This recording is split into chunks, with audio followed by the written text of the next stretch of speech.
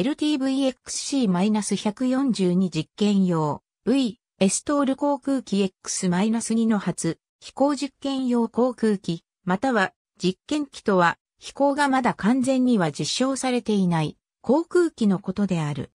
多くの場合、これは新しい航空宇宙技術がその航空機でテストされていることを意味しているが、このラベルはより幅広いものである。実験用航空機という用語は通常実験区分の対空証明を持って飛行する航空機を指すために使用される。アメリカではこれにはほとんどのホームビルド機も含まれるが、それらの多くは従来の設計に基づいており、運用上の一定の制限があるため、名目上は実験用航空機に分類されている。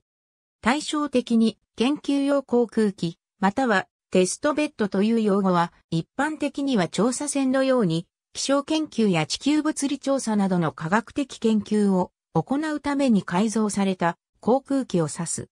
JAXA のミュープルアルファ宇宙航空研究開発機構ではドルニエ228から200を改造したミュープルアルファセスナ680サイテーションを改造した飛翔 BK117 を改造したヘリコプターの合計3機を保有している。これら3機を用いて様々な高度や速度で飛行実証を行っている。ありがとうございます。